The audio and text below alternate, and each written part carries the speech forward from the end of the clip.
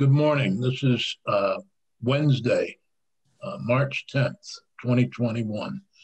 This is Senate Judiciary. We're taking up S3, um, an act relating to um, competency to stand trial and insanity as a defense. You have before us a uh, redraft, draft 1.1 of the bill that has my name on it, um, but it really is a collaborative effort following um, hearing from um, the mother of a victim of a brutal uh, murder in Bennington. Um, I contacted Erica Marthage and TJ Donovan and asked them to work together on an amendment. And at one point following that work, Sarah Robinson contacted me about another issue from the Network Against Domestic Violence and Sexual Assault. And there is a, an, an amendment in draft 1.1 that's recommended by the um, uh, Network Against Domestic Violence and Sexual Assault. So that's the genesis of it. Um, I'm going to let uh, start off with Kelly uh, Carroll, who is um, uh, the mother of a uh, victim of murder in Bennington, who tell us a little bit about her experience. And this is really what led me to talk with Erica about some of what she has seen. She, Erica knew um, the alleged perpetrator of the crime um, for quite a while and uh, has had, not knew him personally, but had a lot of contact with him. She'll explain some of the problems that she faced as a prosecutor in dealing with this man. And uh, go ahead, Kelly. Welcome to Senate Judiciary. I'm obviously Dick Sears, your state senator, um, joined today by Philip Baruth, the vice chair of the committee. He represents Chittenden County. Uh, Alice Nitka, clerk of the committee, she represents Win- Windsor County. Uh, Senator Joe Benning, longtime member of the committee from Caledonia County. And Senator White is not here right now. She's getting her COVID shot. Um, I guess there's a HIPAA violation for me telling that on live TV. But a lot of HIPAA violations these days. Yeah, yeah.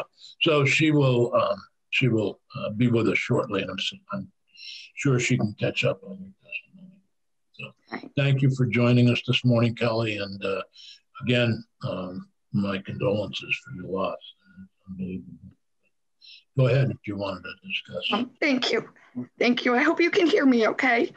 Um, I'm very nervous, so bear with me.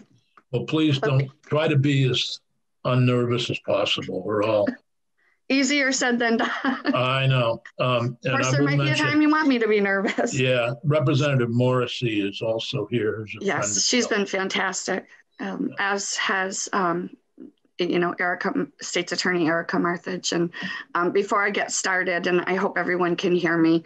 I want to take this opportunity to, to thank you, Senator Sears, and the rest of the Senate Judiciary Committee for allowing me to speak at this. I know that um, this is an opportunity. It's, you know, um, and uh, I know you don't like to probably talk to people like me, um, but I want to thank you for that. Um, and I want to thank Peggy because she's been very, very helpful with all of my questions.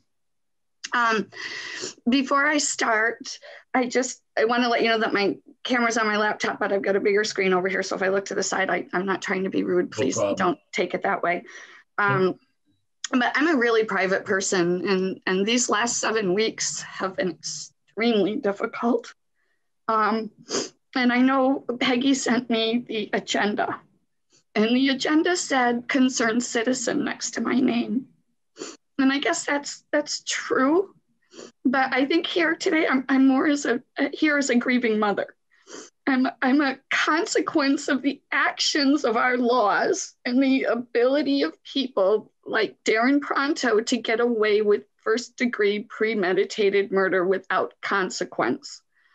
There's several disconnects between public safety and mental health, and I just want to make it perfectly clear from the get go I am under no way, under no circumstances advocating for taking anyone's rights away or you know locking people up unnecessarily but it's my understanding that there are top 10 or 12 um, most violent offenses i'm not an attorney i don't pretend to be I've learned a lot. I have a lot to learn. Um, and and I think basically, you know, for me, my opportunity is to tell you what happened to my daughter. Um, some of the frustrations with the disconnects, um, and then you know maybe part of the solution. Uh, you know, I, am not really sure, but I'm sorry. Uh, for those of you that aren't familiar with the case, my daughter was 26 years old. She was walking through downtown Bennington at 11:15 on a Monday morning. It was Martin Luther King's Day. She was on the Riverwalk in the uh, Bank of Bennington area, and the Bank of Bennington was closed that day because it was the holiday there was a visiting nurse that was inside of the Walloomsac Park um, apartments, which is a senior housing complex that backs up to the Bank of Bennington and the local VFW, which hopefully gets open because that's a really important part of that community. Um, and in that area, there was um, a woman that was doing a home health nurse. She was a nurse. She is a nurse, and she came out of that apartment building on the side and saw Darren Pronto hovering in the, the trees in there, and she got scared. She didn't want to walk down the walkway. So instead, she walked down the grass, the snowy grass, into the Bank of Bennington parking lot and sat in her car and called her parents because she was scared.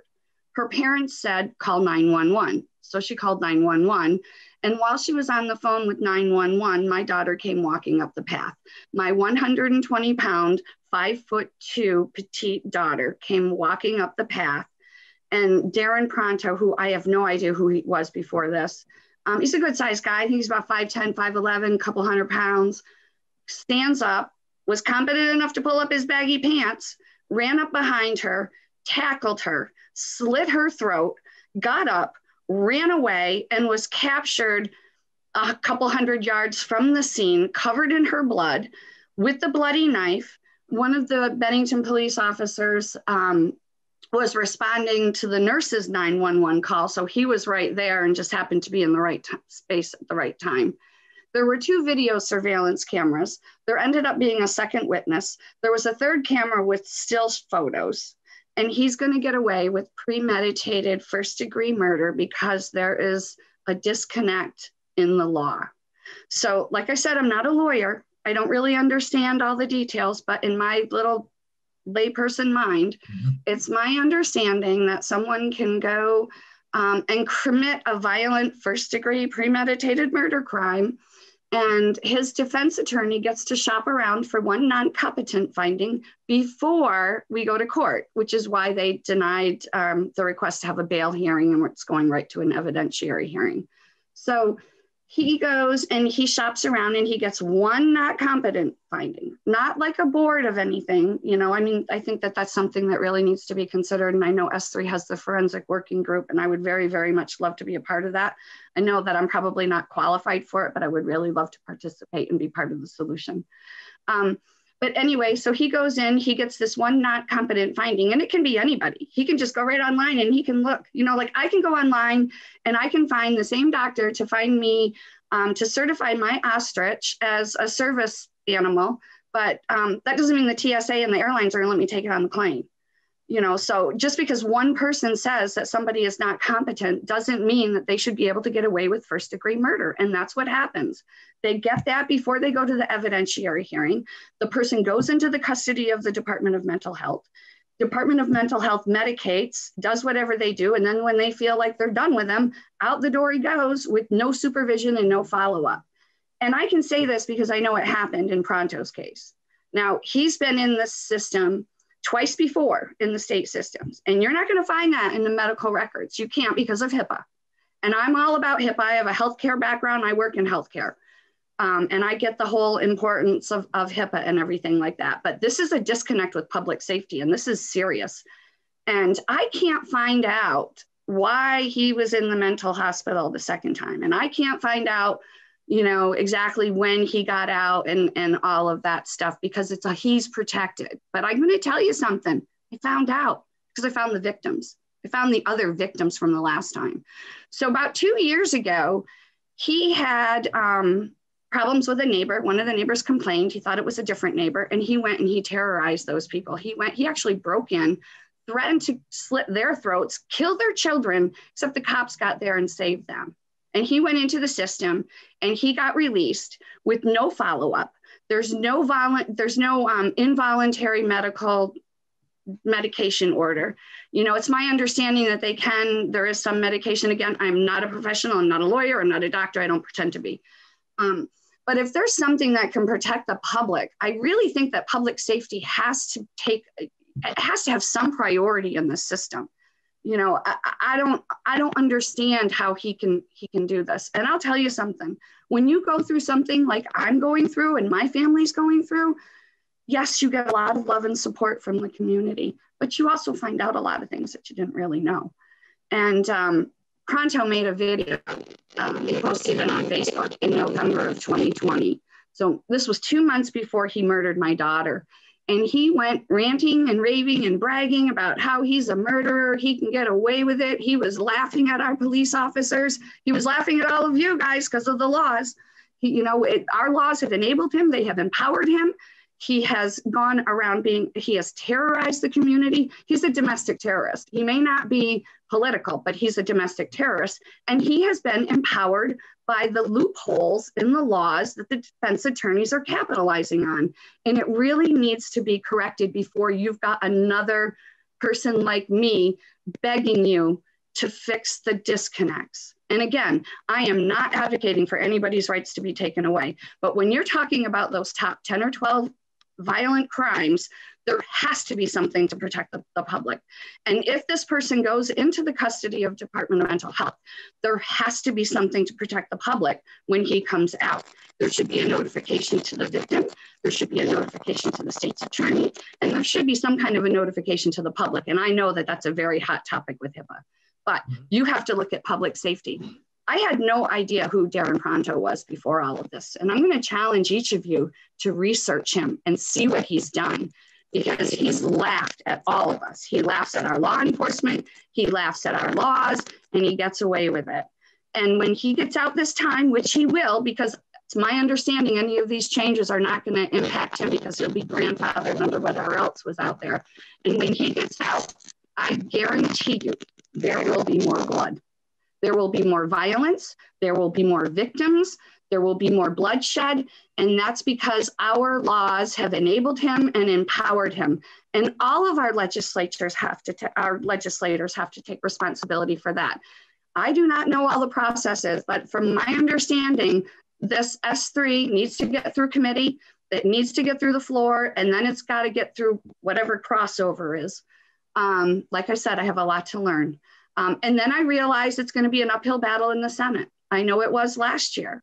Um, and the only thing I can tell you is that um, Emily's dead. I can't, I can't bring her back, but I can be her voice and I am going to be her voice and I am going to continue to be her voice on this issue because I don't consider myself a stupid person.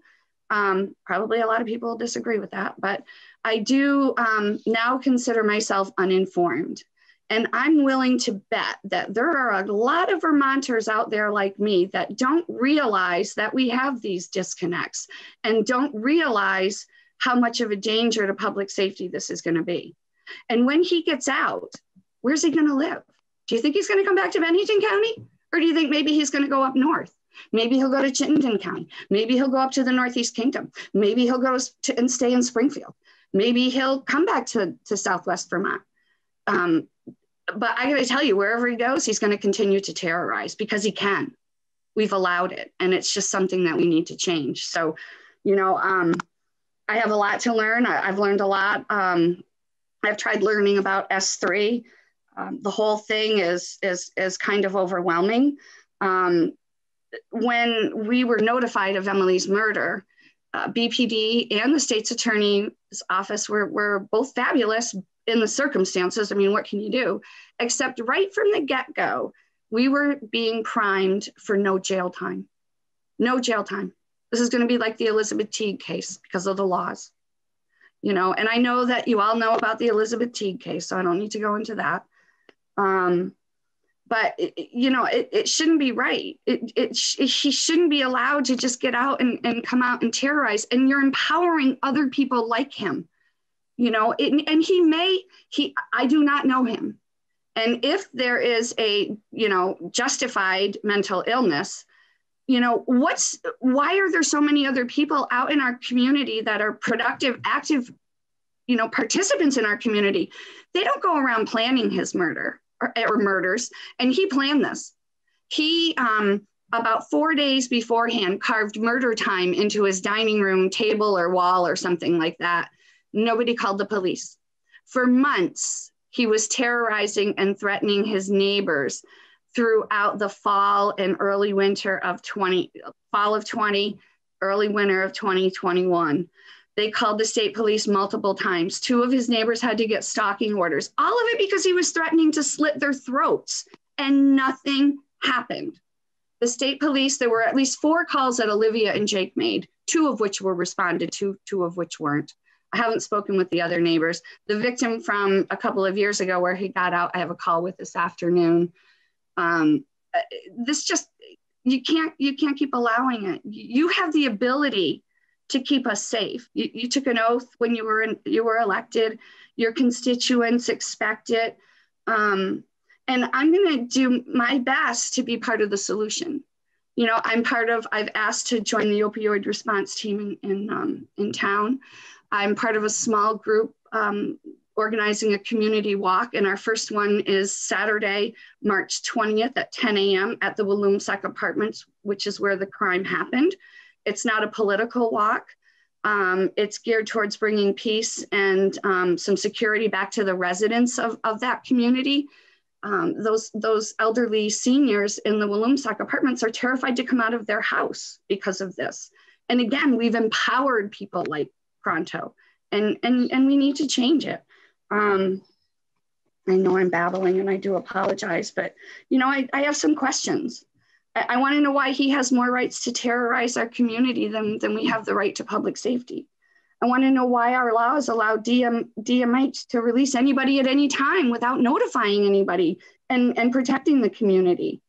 Um, do you want Pronto in your community? Because I don't want him back this way in mine. He's not required to medicate when he comes out.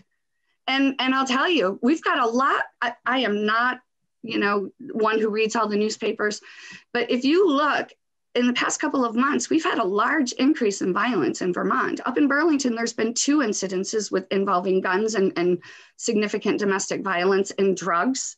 And prontos involves drugs.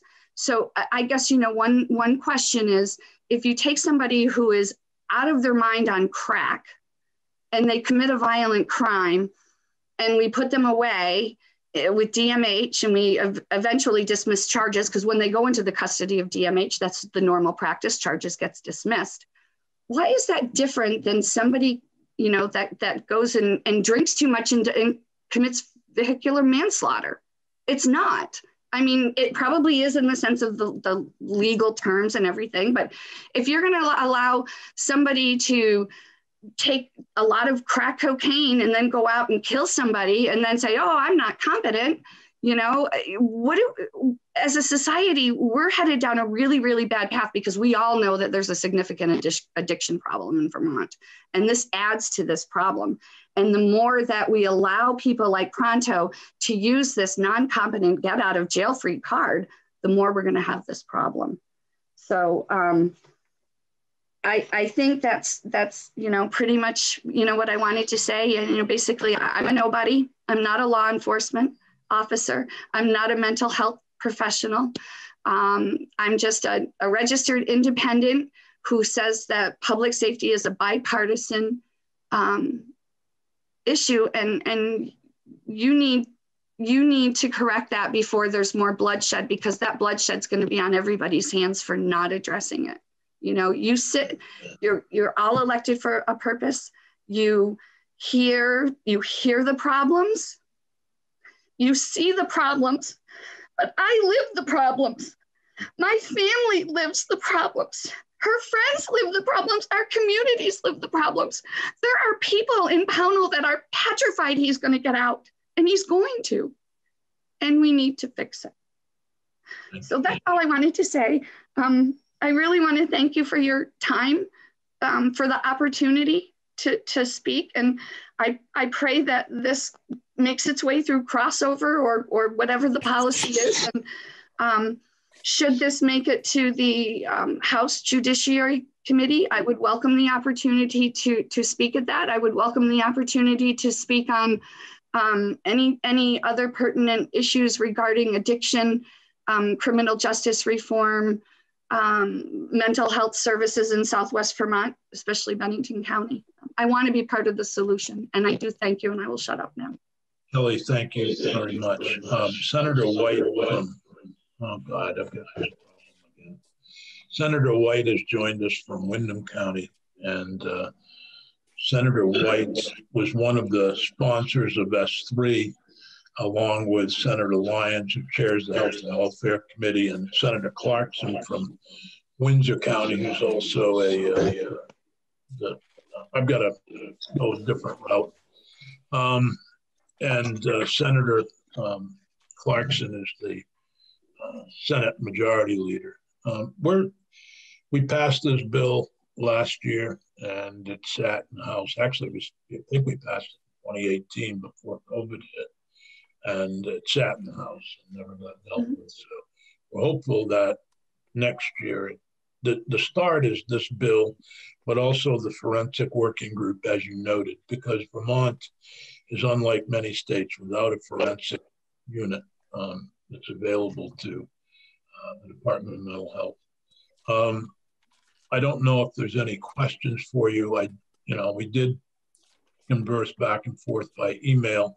I had not met you before, but mm-hmm. I really appreciate your um, taking the time with us, but also your advocacy. Uh, and I, one of the things that struck me in your advocacy is that you stated in one of the emails that you and I traded back and forth that it really wasn't about your daughter. You just wanted to make sure nobody else had to go through what you're going through. And I thought that was really a um, know, a very um, courageous thing for you to say. And I know you, have also got grandchildren here who have been impacted by this, and uh, you didn't mention that. Uh, so I think the committee needs to know that um, your daughter also had two children. Is that correct? One. Yes, she has a um, an 18. He just turned 18 months. Okay, 18 He's in months. Foster care. Yep. Yeah. So yep. I think that um, it's important those things to note. Um, and, you know, we're still a small state. And, um, you know, when your letter came and the background of Mr. Pronto, uh, I contacted Erica, who's our next witness. And Erica laid out quite a long history with this man. And uh, I think part of it is when you don't deal with problems, um, they get bigger and bigger. Um, mm-hmm. I've always likened this to I used to run 204 Depot over on Depot Street. Yeah. And when we had a couch with a little bit of a hole, if we didn't fix the little hole, the kids would seem to enjoy making it bigger and bigger. And finally, had to replace the whole couch. Um, and I, if you don't take care of the little things, sometimes the big things will get you. I think there's a history here of not addressing his mental illness and his um, violent uh, behavior and his threats and other behaviors. So I think, uh, are there any other questions for Kelly before we go to Erica Marthage? Thanks again, Kelly. We really appreciate the testimony. I, and, uh, I do want to thank you, and, and I do appreciate it. And I'm um, I'm a realist, and I don't expect that this is going to get passed um, this year. And um, I just want you to know that it is my goal to be part of the solution, and I will be um, advocating for the education of the everyday Vermonter on the um, disconnects until we can get it um, through the House. So, yeah. anyway. Well, I'm, going to hang on and listen if you don't mind. I would like no, to hear. No, absolutely not. And uh, I would say we're determined to get this through the Senate this year, and hopefully the House will take it up. Um, I think there's enough here. I would like your I would like you all to commit to that personally. Um, I know that puts you all on the spot, I, but I would like you to have I would like you to commit to asking that. I've got a dog in the background, obviously, who's excited. Um, but um, I can't commit to what the House does. I can't. Oh, I know. Doing our I best know. to get out of Senate. And that's where Representative Morrissey comes in and some other Mhm. folks uh, can Yeah. run herd over the House. Yeah. Thank So, you. Thank you. Um, Thank you. Uh, I'm gonna go shut the dog up, but if you could start, and I'll be right back. Hi. And Uh, I apologize for being late. I had my second shot this morning and I just, yeah, just got, just got back. Uh, so, good morning, everyone. Morning. Um, so you've just heard from um, Kelly Carroll about the the severe uh, deficiencies uh, in our response as a state to individuals that have the intersection of criminality and mental illness. Uh, this is not new. Um, it's been uh, a extremely frustrating issue for anyone that's been in law enforcement. I'm sure it's also uh, a frustrating issue for uh, the individuals in uh, that work in DMH as well. Uh, it's what do we do with the individuals that uh, have a mental illness but have also broken the law? Um, so I think S3 is a good start. Uh, I just want to run through some of the things that Kelly testified to and how some of the changes in S3 will address those issues. Um, the first being the uh, notification issue. Uh, the the way it is now, see, um, think it's C1 in the bill, uh, in the in the law, only requires notification for specific uh, types of orders. And then some case law in re DC narrowed that even more. So it's really only that we get notification of these orders uh, of someone being discharged if it's within the first 90 days of an order. So a couple of problems with that. The when they're released on day 91 from a hospitalization, we don't get notification. When they're released on um, when their ONH, their order of non-hospitalization lapses, uh, we're not notified about that. And frankly, you know, 90 days for purposes of an order of non-hospitalization is a drop in the bucket. That's like maybe barely long enough to get uh, a, an initial appointment or some initial contacts and uh, services set up for an individual. So S3 uh, changes that and adds uh, C2. Um, and that requires notification. And uh, this is a good, this is a healthy start, right? So Ms. Carroll uh, mentioned Elizabeth Teague, and anybody who remembers that case knows it's, you know, 30 years later. So we used to get, when I first took office, I can tell you like the second phone call I got when I sat in that chair was from the Department of Mental Health asking me if I would agree to not fight releasing Elizabeth Teague. And I got that call every year. And Ira Morris, it was like a little inside joke. He would call me every year. What do you think this year? How about this year? And every year I would say, no, because her competency was not restored. So that meant I couldn't prosecute her. I couldn't get her on any kind of supervision. And I had no information about why. I was not entitled to get any of her records indicating that she was in any way any better.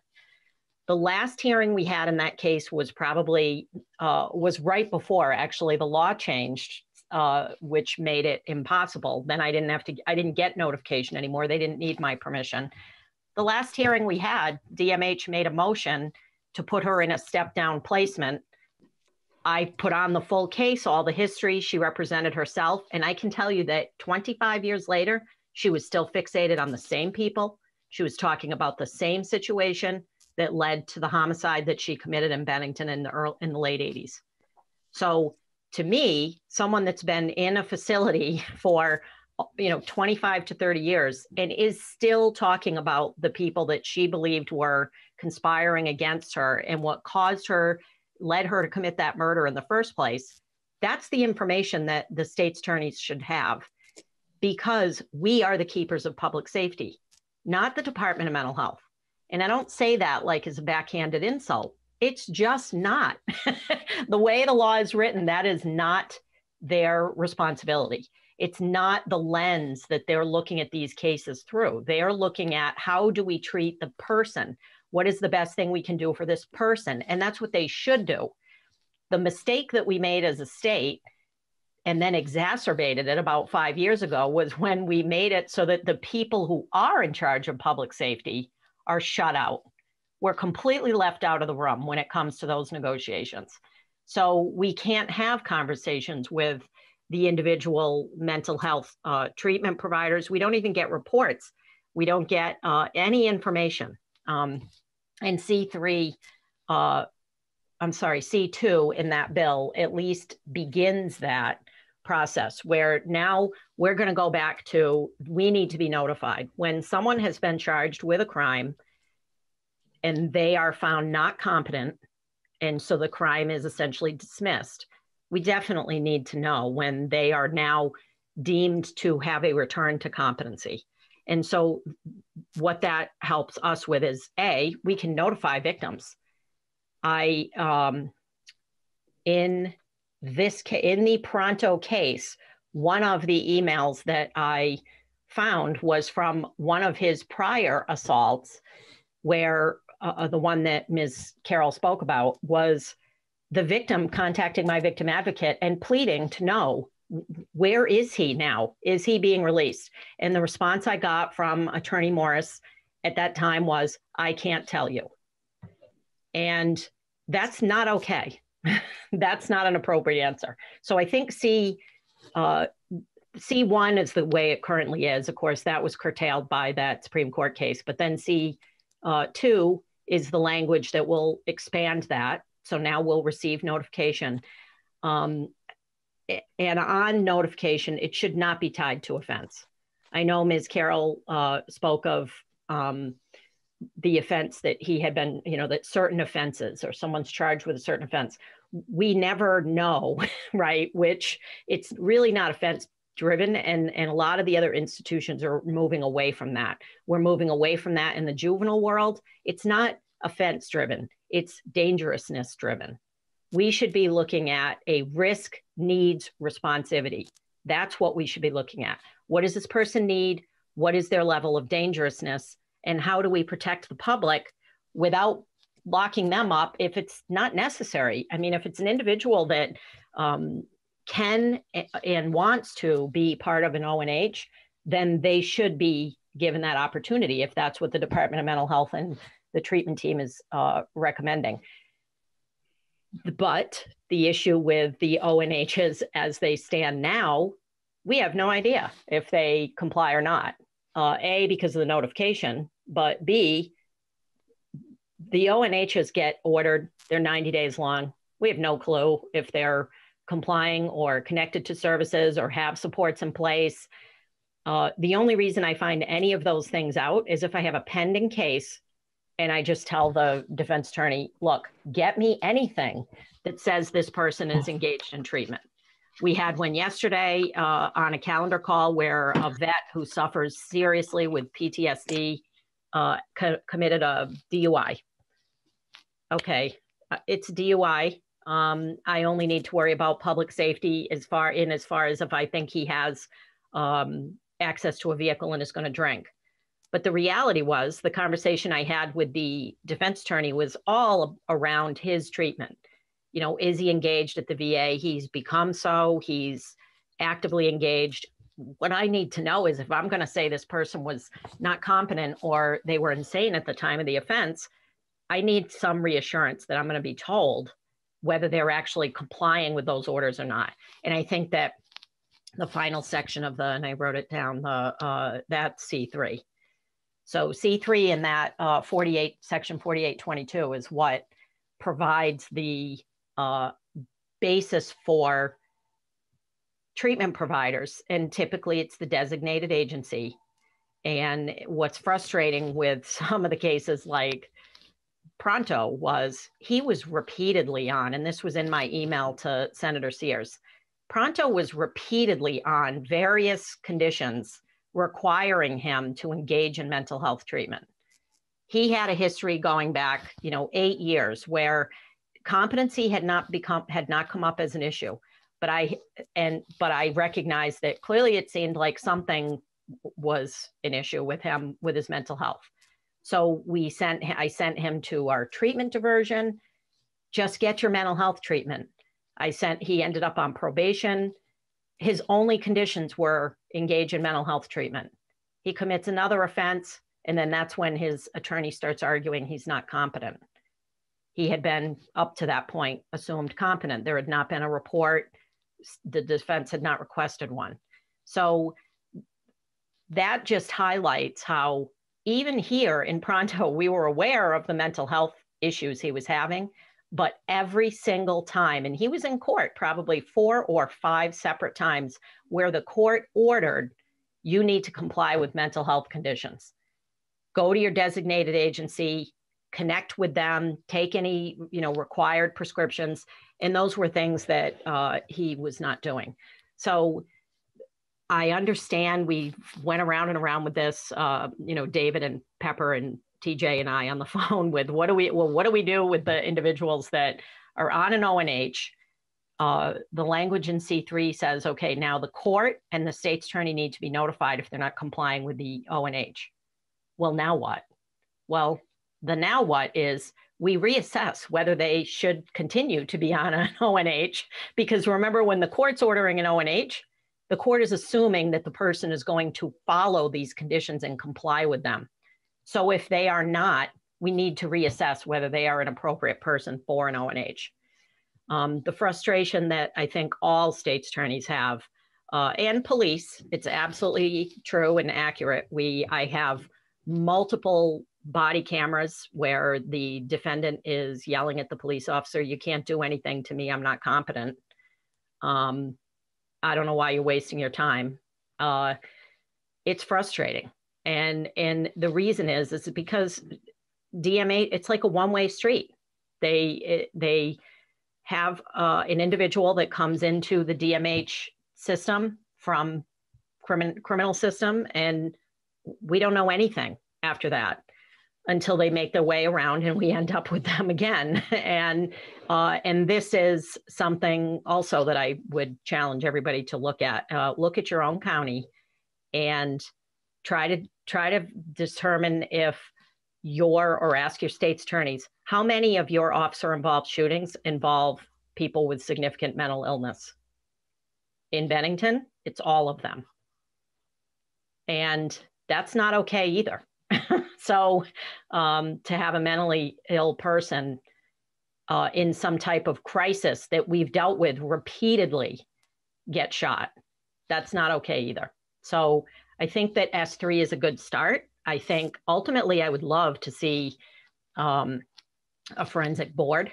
Uh, I completely agree with uh, Kelly on that. I don't know if she researched it. Uh, I have spoken with some folks in mental health, uh, the mental health field, about the like the structure they use in Connecticut, which would be phenomenal. But it's uh, it's not necessarily expensive.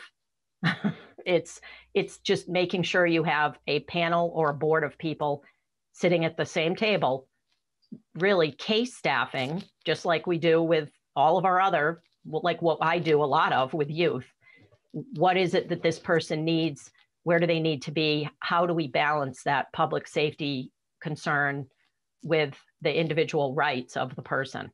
Because someone that's mentally ill the criminal justice system the purpose of the criminal justice system changes it's not about uh, making reparations or um, you know punishment or it's really about what do we do to keep this person from being involved in this system and harming other people and taking someone's life like Emily? So, um, if anybody has any questions, but I think I hit kind of the only thing I didn't touch on because I think it makes more sense for David to address is the the um, AAG or you know an AAG not representing DMH. Uh, I think that the language about the state being able to get its own evaluation is obviously super important. We were completely shut down when when that last Supreme Court case came out that said we can't get an independent evaluation. That's the other thing that Kelly's absolutely correct about. Um, I have not heard anything from Pronto's defense attorney about competency. He did not ask for uh, a court evaluation because one of the last court evaluations we had on him said that he was competent. So, and then I would have something to base my argument on. The way it stands now, I'm not going to have anything. He's going to get an he's going to get an expert. Um, if he doesn't like that expert's finding, remember he doesn't need to tell me. It's not the requirement of the state. If I get an expert and they say he's not competent, I have to share that. Um, so, but that doesn't it doesn't operate that way with the defense attorney. So he can get it. He can shop until he finds one that has the opinion he wants, and I can't do anything about it. So I think that I think that um, S3 fixes that too. So thank you, um, Eric. I don't know if there's questions, but I want to point out while we're having this discussion,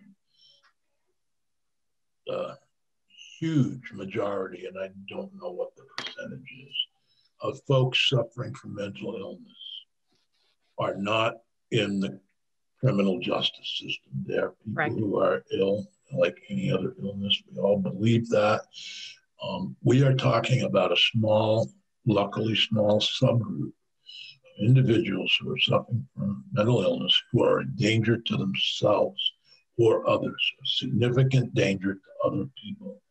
Right. They have victims. They have committed offenses, which, if they were not mentally ill, would be um, very serious offenses, such as this murder um, that we just heard about. But also, I mean, there are, I, I just don't want people to lose sight of the fact that we are not here kind of um, condemning the mental health system or our Department of Mental Health. They do an outstanding job with most people. There are folks who are dangerous, who are um, incompetent to either stand trial or incompetent to uh, found to be in, not guilty by reason of insanity. That does not mean that the offense didn't happen and that they not that hopefully they will not continue to be a danger. But one of the things that I saw in the um, emails that you wrote to me that um, uh, regarding Pronto case is that there was an issue of medication. Am I correct?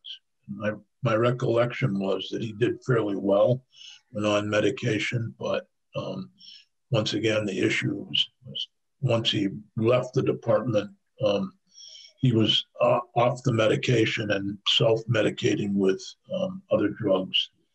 Uh, and that contributed to um, his continued violent um, behavior.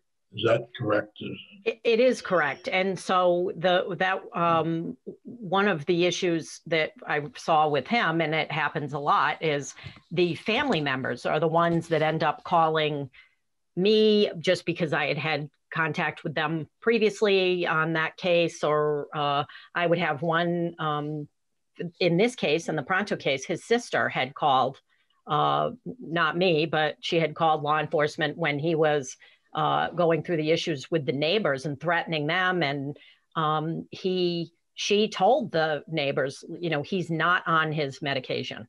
And so that's part of what I think the work group would be able to look at is what is right now, I think it's really differing. So in Bennington, we have the United Counseling Services, uh, they're our designated agency. However, if I have anybody that's in, say, Manchester or North, um, Dorset, uh, any of the areas up, I send them to. Uh, I had a man in Rupert who had been at Second Spring, he'd been hospitalized.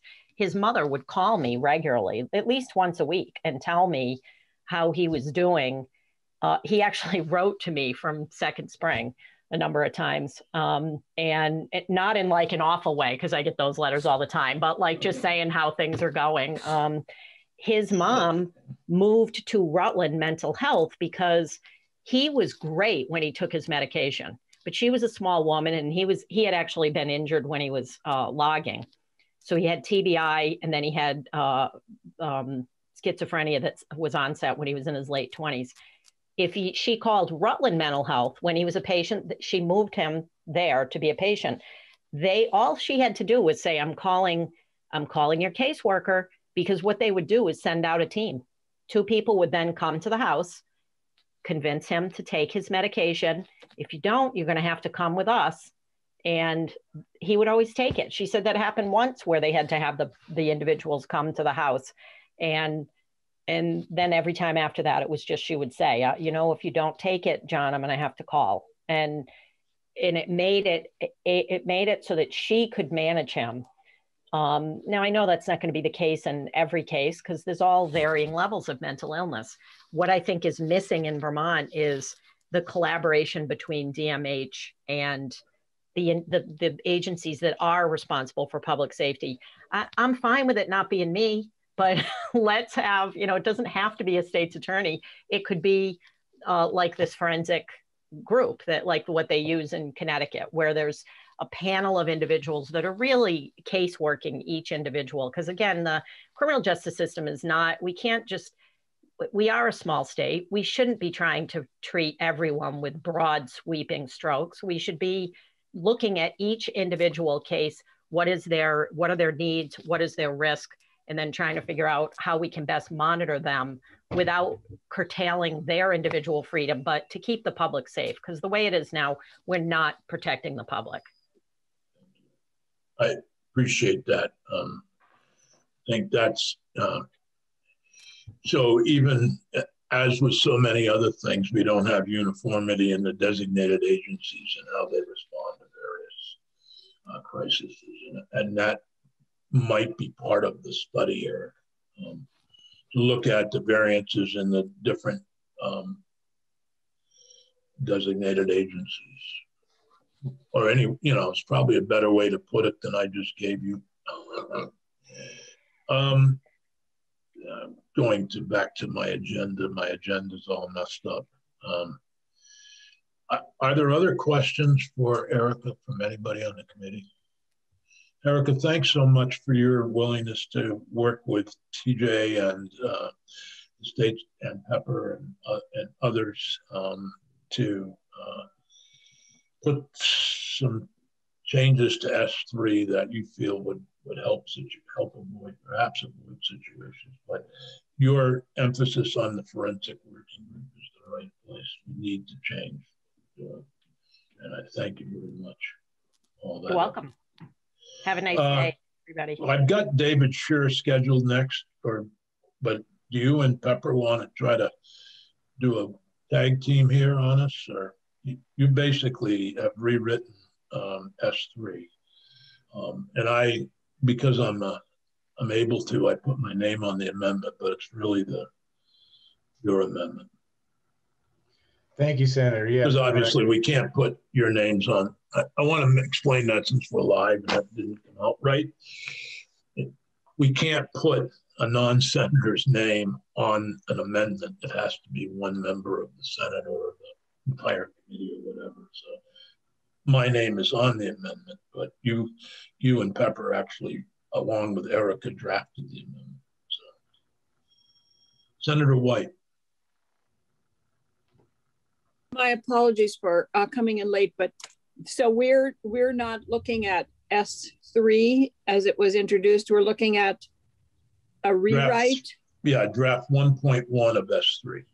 Okay, I have to go down and print it out because I don't I didn't see that. Uh, I think we can put it on the screen if you want. No, that's okay. That would I be can, easier.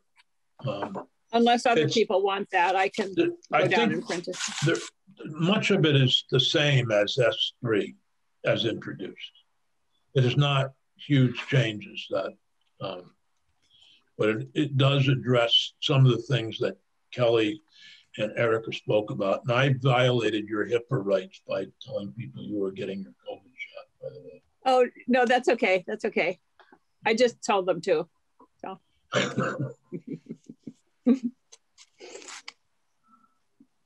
I'll just, um, I, I, thought when you said that they rewrote S3, I figured that it was a well, whole different. It, it is a strike all, but it, it contained much of what, uh, you know, this, okay.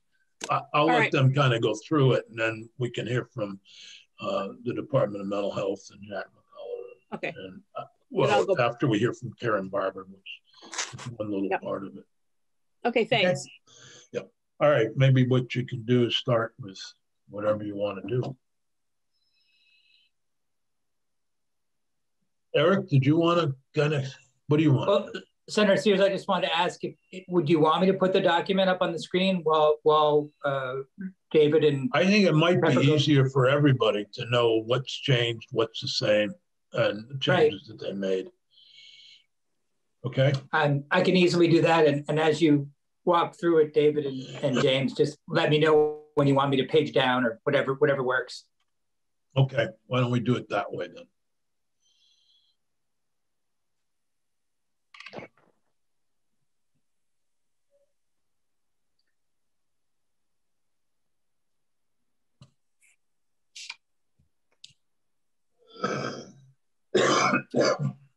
Does everyone see the bill now?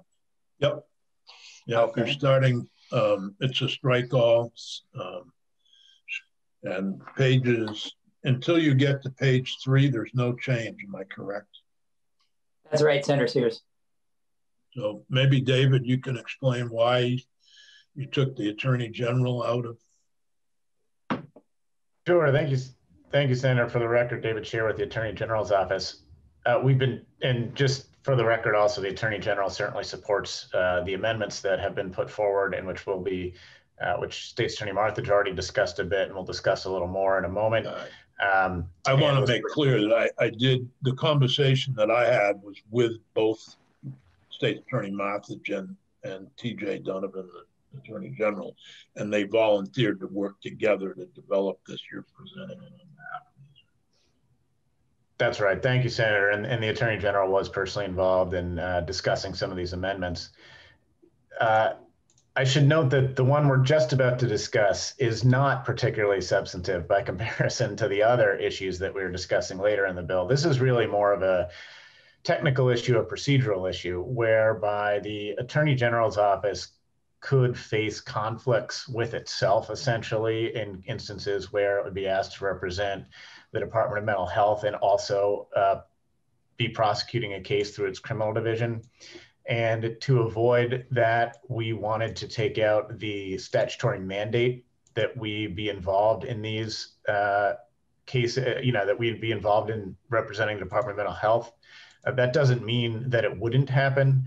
Uh, it does mean that we will continue to be involved in discussions with the department about how to uh, make sure that the department does in fact have the representation it needs in cases. I know that those discussions are ongoing and we believe we can solve, resolve that issue administratively, but in order to avoid uh, sort of forcing the AG's office into a position of uh, conflict with itself and, and potentially having issues with uh, issues of ethical responsibility, um, the professional ethics rules, uh, we would ask that this provision be taken out and we will continue to work with the department to figure out the issue of representation.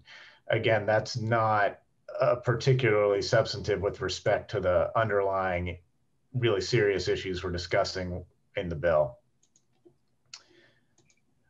Um, unless there are any questions, we can keep scrolling down.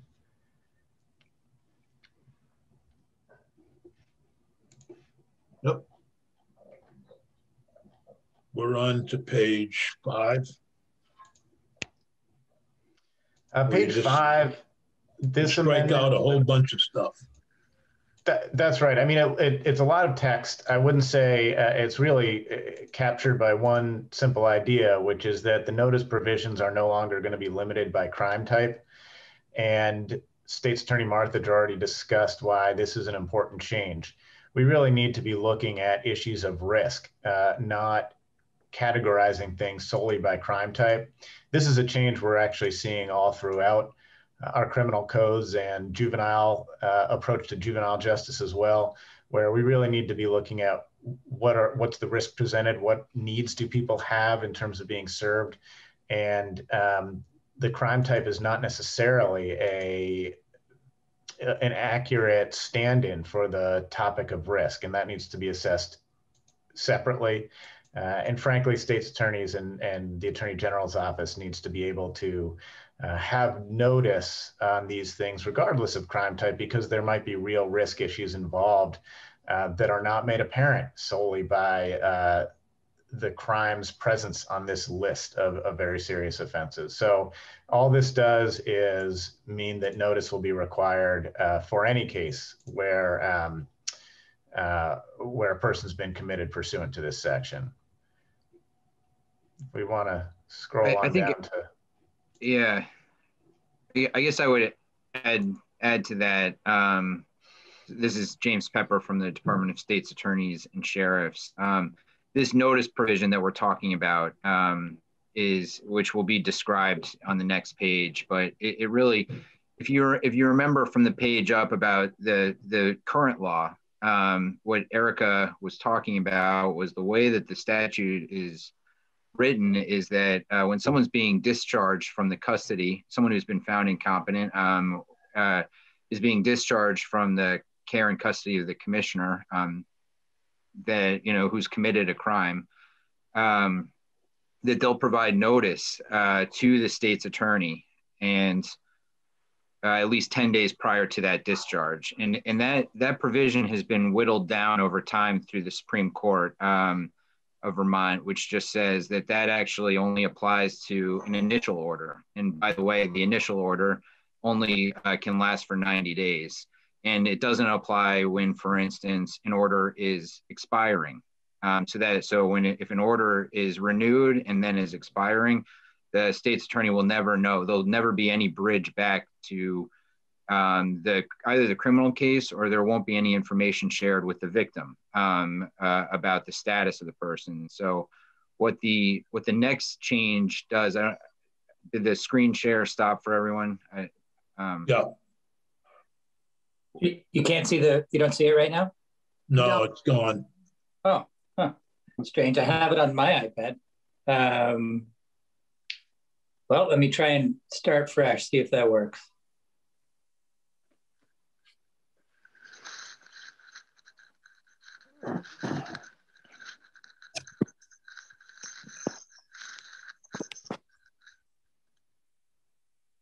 Is it back? Yep. yep. We're on page six of 11 is where right. You, I think it went right back to where you left off, Eric. okay. So yeah, there was the language that Pepper was just referring to, and then yep. moving on to here so then what what this section does which is now c2 um, which says when a person at least 10 days prior and then it covers all of the scenarios uh, that have kind of been limited by the supreme court. It says when a person's being kind of discharged uh, from the care and the custody when they're moving down from a secure to a non-secure um, uh, you know from an order of kind of secure residential facility to an order of non-hospitalization when they're kind of going through the community care, so they'll be back in the community. Um, when an order is expiring, or uh, if the person absconds um, from the custody of the commissioner, then there'll be notice provided to the state's attorney, and the state's attorney will in turn notify the victim. So this is important one uh, to ensure that victims know when an offender might be back in the community. Um, also, it's important if, if it's a serious crime, for instance, or the person needs, uh, you know, if the person is restored their competency, um, then the SA, the state's attorney can resume the prosecution if, if that's appropriate. I, just so I understand this completely, Eric, um, and, and, by the way, this is um, what the network will be testifying against this issue of absconding from custody on line 11. Prior to a Supreme Court decision, the um, state's attorney would receive notice. Is that correct? Was was, was that a question for Eric?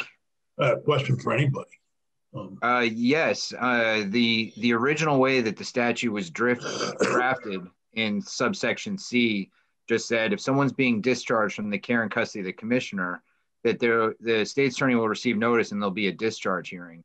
Um, but that has been modified over time uh, to suggest one in, in one Supreme Court case that that indeterminate period that a person could be on one of these orders uh, is actually limited by 90 days. Um, and then two, um, at, at, which point they can the, the order can be renewed, but that notice provision only applies to the first 90 days. Okay. Uh, and then secondly, if an order is expiring, as in the the uh, Department of Correct or the Department of Mental Health is not seeking to renew the order, then that's not a discharge for the for purposes of the statute, and so the, the, those notice provisions fall fall off. So this is restoring kind of what the original intent of the section was, at least uh, what we consider the original intent, which is that the state's attorney, if someone is being released or downgraded or uh, discharged or the term is expiring, essentially, if they've been restored, uh, their competency has been restored, then both the victim and the state's attorney should be notified. Okay. Um, I think, Eric, if you could scroll down a little bit more to, uh, yeah, so, so subsection three.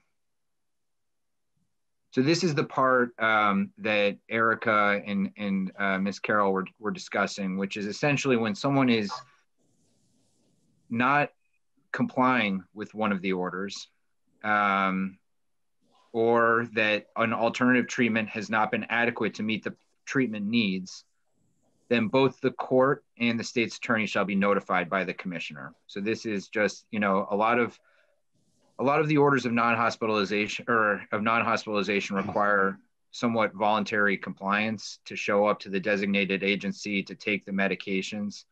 And so this is a provision that would say that if someone is not showing up to the designated agency or not complying with the, the terms of the order, that, that the that the court um, will be notified and the state will be notified.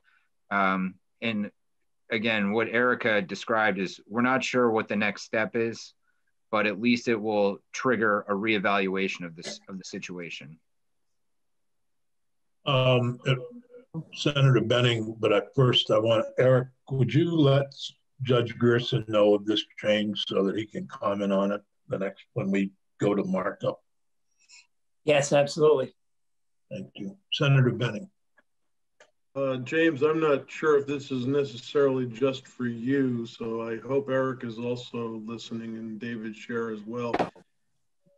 The notice provision here, I'm not sure how it dovetails or if it is impacted by HIPAA at all, but I'm assuming the intent is if the state is provided notice that the state in turn would have the ability to notify the victim's family, or at least that would be uh, understood by this, but we don't say that here.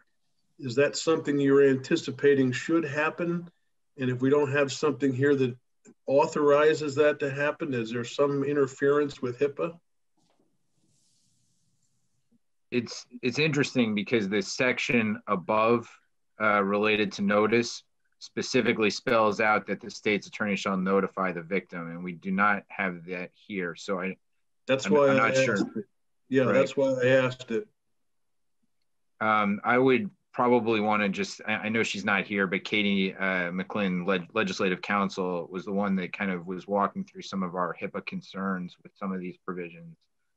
And um, so maybe uh, some of the other witnesses would know whether or not this is the type of information that could be shared with a victim. Well, why don't we pose that question for Katie? Um, Eric, if you could make a note of that. Yeah, I can also preliminarily say that I've also looked at some of the HIPAA exceptions for disclosures and uh, sort of a, a, rough paraphrase, but there is an exception in HIPAA for, for disclosures that are required to be made by state law. So it can't be it can't be discretionary. It can't be an authorization for information to be provided. It has to be mandatory provision of information. And if the state law requires that provision, then there is an exception under HIPAA for that. So that's some background for, I'll also follow up with Katie, but. Yeah, Eric, if, if the expectation of the state is that they should be sharing this with the victim, it probably ought to mirror the language above that uh, specifically stated that. Mm -hmm. Yes, if that's the if that's the direction the committee wants to go, I think you're exactly right, Senator Benning. It should be should be parallel there. Okay. Um, that brings us to, is there any other questions about section three? That brings us to section four, where I don't think there's any changes. Yes, that's right, Senator Sears. I don't, think, I don't think there's any other changes at the moment. And section five is the assessment of mental health services and corrections. Section six is the forensic working group. Um, is there a place here for someone like Kelly in the forensic working group? And if not, should we make sure there is?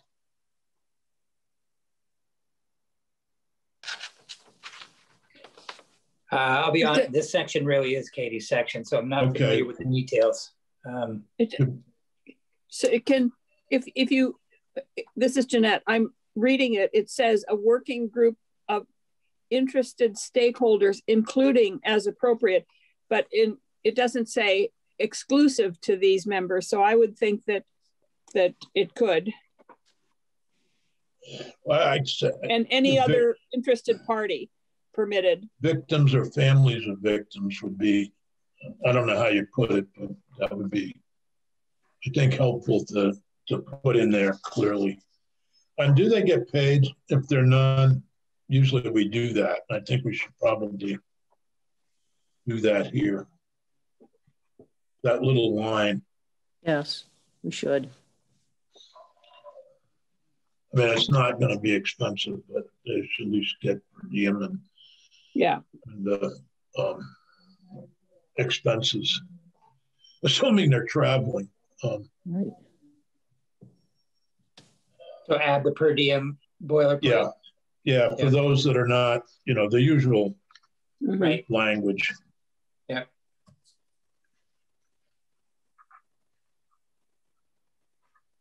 All right. Um, are there any questions for Pepper or David? I want to thank all four of you. Uh, one of you's not here, which is Attorney General Donovan, for the quick turnaround of this um, from the time that Eric and I, um, along with Kelly, began the conversation. It's really good. Uh, our next witness is um, Sarah Robinson. Um, Shall I lead the, the, the statute up, Senator Sears? I, I don't think you need to. Uh, okay. I think it her the issue is victim notification when somebody there is a a letter from um, on our uh, web page from um, uh, Deborah Brookfield, um, who uh, Sarah uh, will talk a little bit about. Or is it Karen? Where's Sarah? Is Sarah with us? Yes, she is. Well, she's muted and not. She's presently muted. Sarah, can you unmute yourself? She can hear us. She can hear us. There's a letter from Deborah Brookfield, who's a rape victim. Um, who was raped in uh, 1989.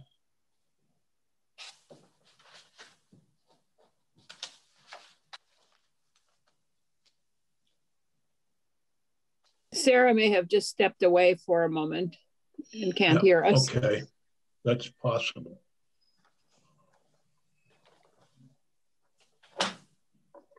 Sounds like that's what happens. Um, well, I guess we could go to um, Jack McCullough um, from Vermont Legal Aid and uh, come back to Sarah when she's with us. Okay.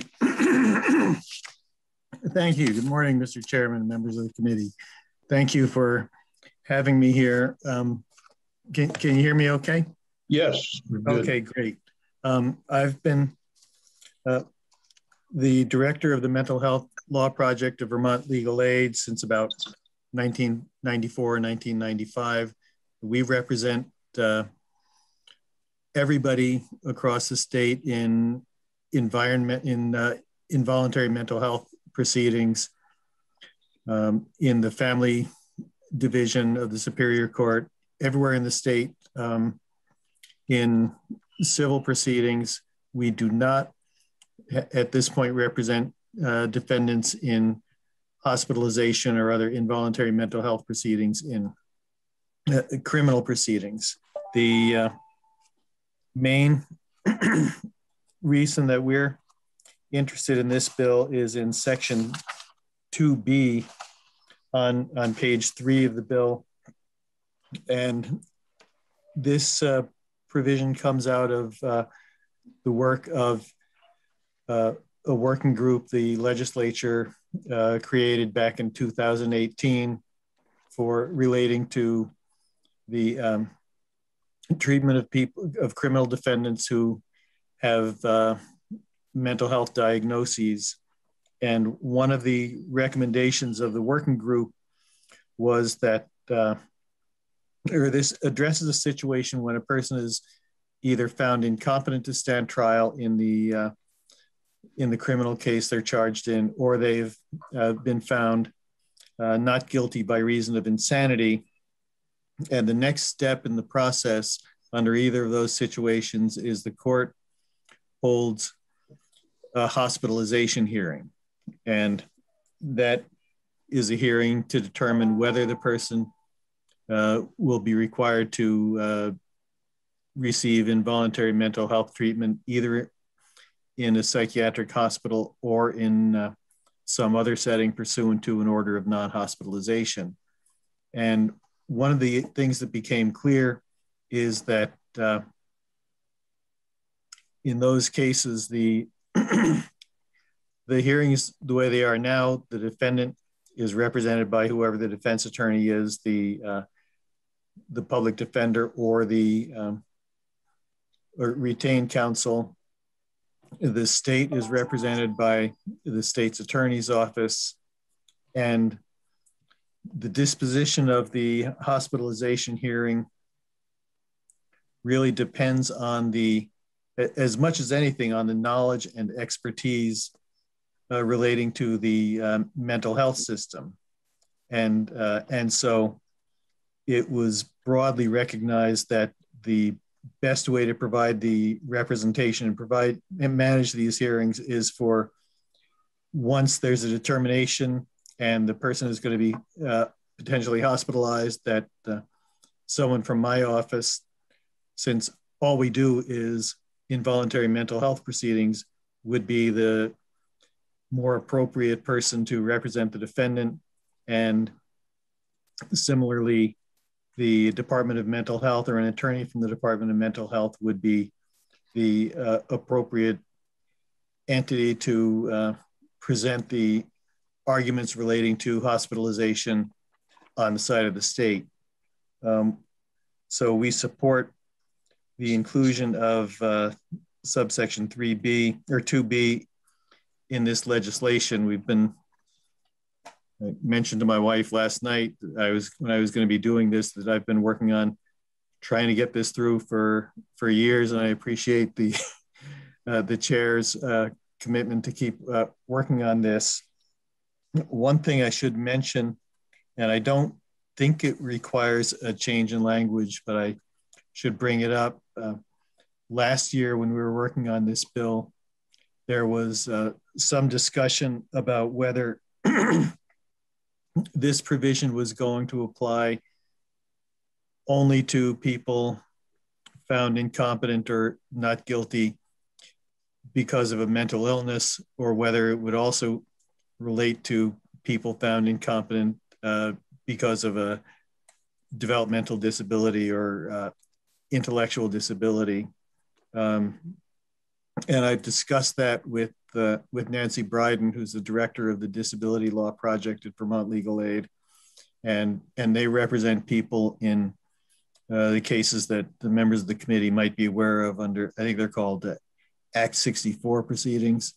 And what what we both agreed is that it's not necessary to make these this provision apply to intellectual disability cases, just mental illness cases.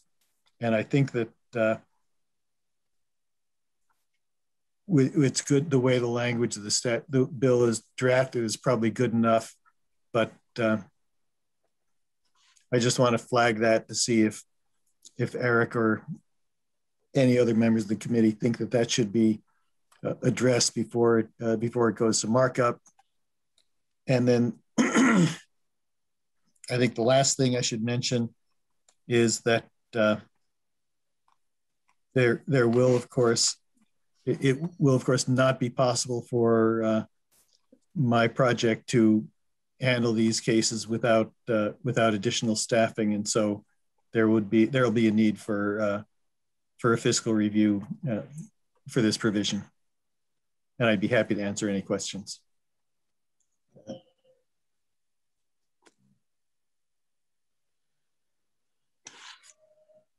Senator White. Jack, you said that um, in the bill it doesn't talk about um, intellectual disability or developmental disability, but um, so you don't think it's necessary to put that in here. It was just a, you were just raising the question. Exactly. Okay. And who was it that um, you spoke with that said that it didn't need to be addressed here? Uh, Nancy Breiden, the director of our disability law project. Okay. Thank you. You're welcome. Other questions for Jack? Jack, thank you very much. Appreciate You're welcome. Thank you for having me. Um, did, were you say, I, I should ask this, I hate to ask this question. Are you suggesting that who would do the fiscal review? Um, Joint fiscal, or are you suggesting that you have some expertise within not legal aid? No, I think it would, I think it would go to joint fiscal. The last time, you know, a few years ago, this was uh, this was in the legislature. There was a fiscal review and a fiscal note uh, issued, and I would certainly be willing to consult with joint fiscal as they're doing that. Okay. Thank you. Um, Eric, do you want to just send a note to Stephanie Barrett to look at this along with yes, I, I, can. Yep. Thank you. Jack, would you by any chance have that note that was done? If a fiscal note had been done a couple years ago, would you still be able to obtain a copy? I can try. Yeah. Um, I'll, I'll, look and see what I can find. Um, I'm using the excuse that all my documents are in Montpelier and I can't find them. Well, yeah. That's part I, of the problem. It, it really is part of the problem for me, but I, I I have access to our network even even from home, so I'm I'm optimistic. Okay. Great. Thank, Thank you, Jack. Now let's uh, pivot back to Sarah Robinson, if we could, and um, the letter. Um, this uh, is on our uh, website. Yes. Uh, thank you all. Apolo on Deborah Brookfield. Sarah, that's fine. We all do that on Zoom. This is a Zoom troubles. Zoom. Exactly. Right. Good morning. For the record, Sarah Robinson, Deputy Director at the Vermont Network Against Domestic and Sexual Violence. Um, and I'll be brief, but I did want to highlight one small but meaningful change in the draft that you all are discussing today. And thank you, Senator Sears, um, for taking this testimony and also for noting the letter from Deborah Brookfield, which has been posted to the committee's website. I just wanted um, to say that we're broadly supportive of the bill, especially the provisions uh, referencing victim notification. And for many years, as you all know, the state has worked to refine and improve the process for notifying victims through court proceedings and during periods when individuals are um, incarcerated under the custody of the Department of Corrections or on community supervision. However, as State's Attorney Marthage and others highlighted, this victim notification process has, has not worked well after 90 days in cases where individuals are in the custody of the Department of Mental Health, such as um, those that you've heard about today. So the small piece I wanted to speak to specifically is related to individuals absconding from the custody of the Commissioner of Mental Health. And so that can be found on page six, lines 15 and 16 in the draft you are looking at. Um, and in the letter that the committee received from Deborah Brookfield, uh, she really outlines her stories. And in essence, when an individual absconds from the custody of the Commissioner of Mental Health, there is not notification for a victim, as there would be if an individual absconded from Department of Corrections custody. And Ms. Brookfield was not notified that the person who had violently assaulted her and threatened her life had absconded from the Department of Mental Health custody, had hitchhiked halfway across the state, um, and was ultimately apprehended just a, a, mile from her home. And the way that she found out um, about this series of events is because the Vermont State Police uh, put out a bulletin, a missing persons bulletin for this individual, um, which truly just happened to be seen by her victim's advocate. So her victim's advocate at the Department of Corrections um, was not uh, notified, nor was the state's attorney, nor was obviously Ms. Brookfield. Um, so this is a, it's a small change of those that you're contemplating today, but a very meaningful one. Um, and I'd be happy to take any questions that you might have about it. Are there any questions for Sarah? Senator White. I just want, thanks, Sarah. I just want to be clear. You're actually supporting the language that's that in the new draft. Very much so. Okay, great. Thanks. That's what I thought. It was actually her language that was okay. inserted there that had, hadn't been placed in by earlier um, by uh, David Scherr um, James Pepper. Uh, okay, no, no further questions. Thank you very much, Sarah. Appreciate it. Thank um, you. Mourning Fox and Karen Barber, do you want to comment on behalf of the Department of Mental Health? Yes, uh, either you. one of you or both. I think we'll do as uh, I think this committee has gotten used to a little tag team um, between the two of us. Um, I'd like to start uh, for the record, uh, Mourning Fox, Deputy Commissioner for the Department of Mental Health. Uh, I'd like to begin by saying, uh, expressing my thanks to, uh, to you, uh, Mr. Chair, Senator Sears, for your comment earlier in the, in the testimony, reminding members of this committee, as well as those of the viewing public, that uh, the vast majority of people with mental illnesses uh, are not uh, the perpetrators of uh, violent acts uh, and in fact are uh, at greater risk of being on the receiving end of, of violent and assaultive acts. And so I just wanted to start by saying thank you for, for that reminder. Um, I also would like to thank Ms. Carroll for her testimony. Um, I the the experiences that she and her family have gone through, uh, no one should ever uh, have have to uh, even imagine, let alone actually go through. And as Ms. Carroll mentioned, uh, around support for notifications um, regard, you know, that are uh, described in this bill, prior to the changes uh, that the state's attorneys and and the attorney generals worked on, the department was in full support of uh, the notifications as it was listed earlier uh, with the uh, listed crimes. Um, uh, with the expansion of that, I think it does bring some concerns uh, to the department. Uh, and um, I will be asking Karen Barber to speak a little bit more in detail about that. But I just wanted to express that the, the change from notification from listed crimes to any crime uh, is is a bit concerning. The the, the sheer volume uh, that that could be and other implications uh, could be rather significant. Uh, and I also believe that uh, it would probably uh, be wise to hear from Vermont Care Partners as to how this would impact their work with uh, criminal court involved folks who uh, end up on orders of non-hospitalization uh, into the community. Um, I would also uh, like to just mention again, uh, as Ms. Carroll mentioned, the Psychiatric Security Review Board uh, one example being the, the Connecticut model is something the department has been uh, in support of exploring for use in our state.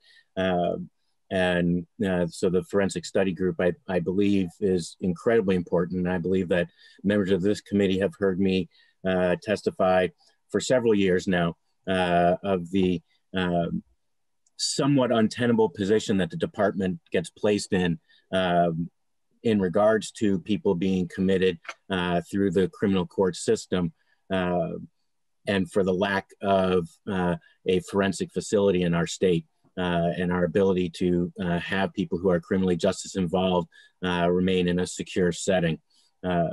since the, the flood of the Vermont State Hospital and the rebuilding of the Vermont Psychiatric Care Hospital and its replacement, all of our hospitals in this state are acute care hospitals, CMS certified, Joint Commission certified. And in order to continue to receive the federal participation and funding that, that funds the vast majority of our psychiatric uh, hospitals, uh, they cannot be used for public safety. And so that therein lies the rub that, that we struggle with in that when a, a person's mental health uh, uh, concerns or issues have been adequately treated, that they no longer uh, require hospitalization for psychiatric uh, treatment. As uh, uh, State's Attorney Marthage mentioned, the, the public safety piece, our focus is to treat the individual. And we lose or face losing parts or all of our federal funding if we then restrict and keep people either hospitalized or even kept in a secure residential setting uh, solely for a public uh, safety uh, perspective. There are public safety connections between mental health and law enforcement. That's clear. Uh, however, uh, the, the, the, the piece that we really need to look at is um, what type of facility are, are we in need of? Um, and I think it's also important. I think you know Ms. Carroll made a, a great point as well around people with substance abuse um, and substance use disorders, uh, and I would add in developmental and intellectual uh, disabilities as well. Uh, that because those systems have no uh, uh, involuntary uh, inpatient, if you will, or secure settings, whenever there's a the comorbid connection uh, or the dual connection of mental health and addictions, mental health and uh, developmental intellectual disabilities or uh, traumatic brain injuries, etc. Really, the only recourse that the courts are really looking at is to place them into the custody of the of the Department of Mental Health, uh, which is not necessarily the best uh, services for those individuals. Uh, and again, quickly look at does that individual need psychiatric care? And once that their psychiatric uh, um, issues have been treated, then what? And so uh, I will kind of end end with that. But you know, I think the the, the piece that I, I want to stress is that we really need to look at and really study and figure out what is going to work for Vermont um, and, and, such like that. Um, but uh, lack of, of, of those types of resources we're going to be stuck in this position on an ongoing basis. Um, and uh, I'll leave it at that uh, for now, but uh, I'll ask uh, Karen Barber to go into a little bit more detail on some of the specifics. Um, but just to remind folks, we're in support and we really truly believe that we would like people to have notification uh, when some of the individuals are being discharged uh, from a secure setting. Uh, that's why we were in support of the original language uh, of, of S3 with the listed crimes. Uh, and so I just want to make sure that we understand that, but that we do have some serious concerns of expanding it to any crime and, and what that impact could be. Um, I guess I, I want to make sure I understand that. One of the frustrations um, that I heard was um, that cases are different in different counties. So in Rutland County, somebody who's off their medications, the Rutland County Mental Health gets a call. They send out a team to talk to the person, uh, get them back on their medication. In Bennington County, that doesn't happen. And, and this committee has worked tirelessly on issues of geographical justice. Um, seems to me like uh, why doesn't that happen in Bennington County? Um, I guess those are my questions. That's one question. Um, understand your concern about the uh, about all of this, um, you know, in terms of the, the cost, but um, and if you're not responsible for public safety, who is? Uh, it starts in 20 with this gentleman, or the alleged perpetrator of the crime that we talked about, Darren Pronto. Is charged with false information to police in February of 2015, sent to a reputable. A few months later, he's charged with domestic assault, placed on probation with mental health conditions supposed to be working with UCS. UCS does not share information with the state's attorney. And within months, he's violated his probation, brought back to court, given stricter probation conditions, again, focused on mental health. A year later, he violates his probation. Again, he's placed on probation with mental health conditions, requiring him to work with the designated mental health agency, UCS. He again violate, violates again within a month, and now his defense attorneys start to argue competency. During 2018, he's admitted to the state hospital and DMH has entered in as a party to the criminal proceedings. State's attorney's office does not receive any information from DF, DMH. In fact, we're told we're not entitled to the information. Defendant is now found not competent, requests hospitalization hearing, DMH, you know, intervenes. This is all two years before the murder. Um, and so I guess what I'm trying to get at two things. Why don't we have a similar response in Bennington County that we have in Rutland County? And number two is if we only look at listed crimes, then we would never see these other crimes that were committed um, by this person um, and might have been able to uh, catch this before it ended up in a murder. But can I can I follow Senator up? White, yeah, sure. Can I follow up on that? Um, I'm uh, I got think I got a little confused here because we're was he um can was he determined to be incompetent to stand trial or um innocent by or not guilty by reason of insanity in those earlier things because if it, it I, I, think I got a little confused here because if we're talking about um, there are a lot of people on ONHs that um, uh, the, can I finish? Well, I was going to answer your question. Go oh, okay. Well, because there are a lot of people on ONHs that aren't in the criminal system and are we talking about notifying victims whenever someone is released from an ONH? Or are we talking about it only if they are in these two criminal uh, system I'm categories? Talking, I'm talking about this individual during 2018. He admitted to the state was admitted to the state hospital. DMH is entered as the party to the criminal proceeding. State Attorney's Office does not receive any information from DMH. In fact, we're told we're not entitled to the information. Did not tell his victim as to the time, at the time, anything about his whereabouts. Then the defendant is found not competent and the state attorney's office requests a hospitalization hearing. DMH intervenes as a party.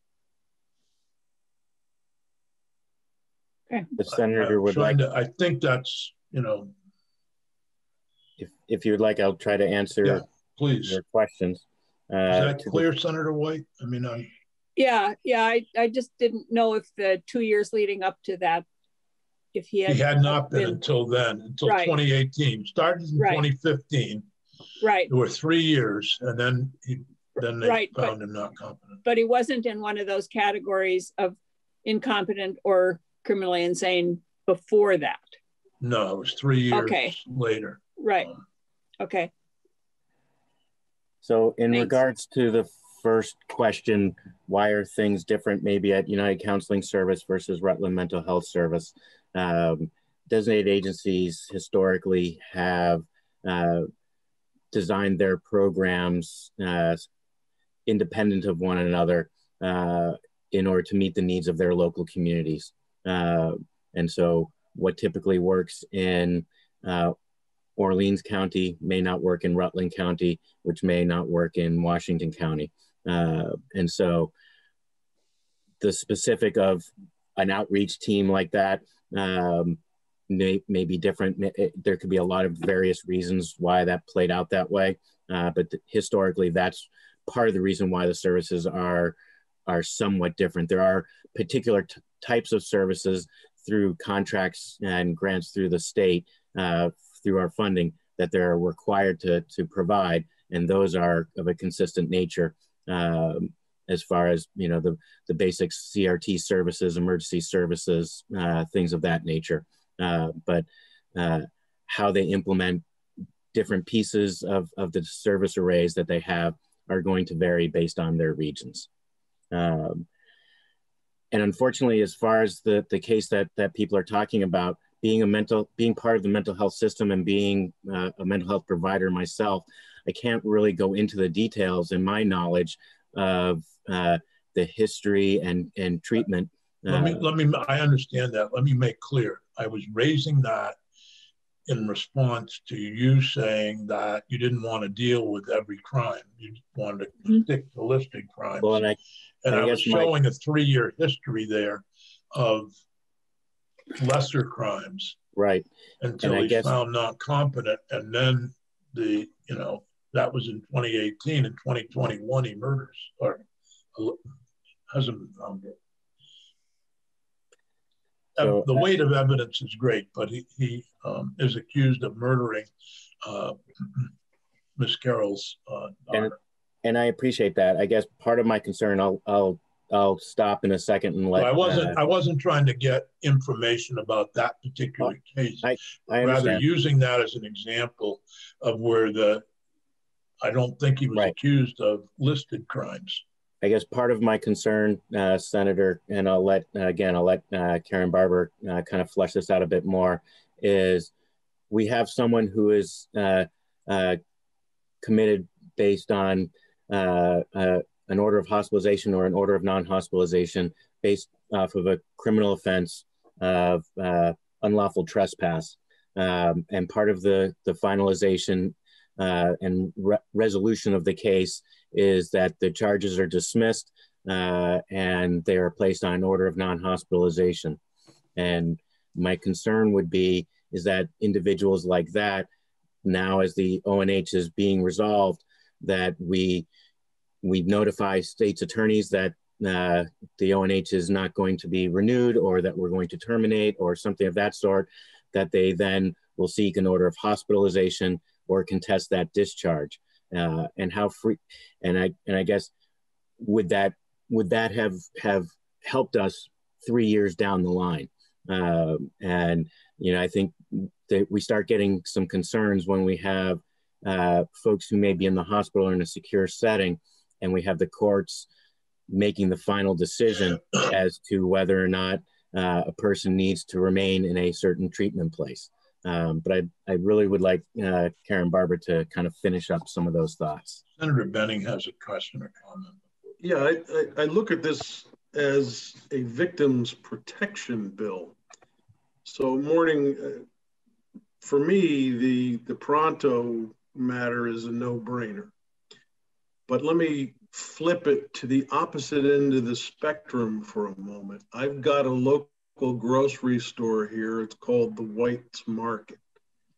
White's Market has uh, frequent occurrences where somebody comes in shoplifting, and the shoplifter may be uh, a repeat customer. Um, and all of a sudden, you've got a question of mental health, and the individual uh, is given an ONH and the White's Market agrees uh, they're going to simply let the charges go because the person is helped. But don't they also have a right to know ahead of time um, to be able to watch out for this individual that may be coming back into the store to repeat the offense? And if they went to corrections and there was no mental health, do they have the right to know that they're coming out of corrections? Well, if they're coming out of corrections, they would have been either as a result of a plea agreement or a conviction in a trial been given a sentence that the victim would be aware of and would have some understanding of when they're supposed to be released. We're working on that actually in another bill, but um, to me, this is a victim's protection law. And, and when I hear you saying you're concerned about expanding, um, I almost have to react and say it's that's not the point. The point is that people have a right to be reconnected with this system and knowing ahead of time who's going to be a threat to them if they've been a threat in the past or who potentially could be. So I, I guess I, am not sharing as much of a concern as you're expressing here, and Karen may have statistics or whatever to back up why that may be an additional problem for your office. Um, but I, I can't really wrap my head around why we would have to limit it to a specific list of crimes because this is not for the benefit of the person who's going into a hospitalization order. This is actually a bill for reconnecting the victims, as I understand it, to the no. process. Can I follow up on that, Senator Sears? Uh, Before, I don't know if Mourning Fox wants to respond or, first. Or, or for Karen, just yeah, to clarify what Joe said. So in the case in the case that you were talking about, the person is a shoplifter and they're going in and they're put they might be put on an order of non-hospitalization but have they been actually um, declared incompetent to stand trial or um, not guilty by reason of insanity because those are the two the two things that we're talking about here. If you if you required um, every single person who moves off an ONH that has nothing to do with those two circumstances to for people to be notified that's go that's going way beyond what this bill was intended to be which is those two categories of people it is from what i understand because the shoplifter probably was not declared incompetent nor in a, um, not guilty by reason of insanity so I think that's where we're getting confused here because we're talking about only these two circumstances, I believe. Yeah. Am I, I might be totally wrong here. No, I think you're actually right. I hate to admit that, Senator. I know you do, but thank you for it, it. It's when somebody has been declared either not yes. competent to stand trial or not guilty by reason of Right. And I doubt on a shoplifting charge. Right. I don't think so. But Karen, did you want to comment? Yes, I would. no worries. Thank you. Uh, for the record, Karen Barber, General Counsel of the Department of Mental Health. Um, and so I have um, some comments, but I think uh, Senator White, you touched on, I think one of the department's big concerns and what um, Deputy Commissioner Fox is talking about. The way the language reads now is you omitted the section where it said it only applies to people that have been not competent or found uh, guilty by not reason or uh, not guilty by reason of insanity. So the language as now, which was very concerning to us, is you opened it up to everyone, and so it would have applied to that shoplifting case. If that wasn't the intent of the committee, then um, I think that that really, I think, tailors some of our concerns because that was one of my big concerns is you really opened it up to a huge group of people. Did you want to say something, Eric? All right. I'll, I'm sorry, I was just going to noting for Senator Sears that I wanted to respond to that because that certainly wasn't the intent. I, I, don't see that no. in the language, but no, I, I think it was intentionally intent. crafted to not do that. Right. And, the, the language, is, the whole bill is based upon, though, in my view, the, those that are found um, um, not competent to stand trial or um, not guilty by reason of insanity. Great. And I think. Uh, and, and, and one of the things that um, we don't have in this bill, but hopefully discussion has ensued. I've been working with Erica Marthage, John, and a couple of other people. Is there are, uh, you know, the effort to divert many of these cases to um, local mental health center or whatever to try to deal with them um, before court cases. So you know, that that's a major part of uh, let's solve the problems. Um,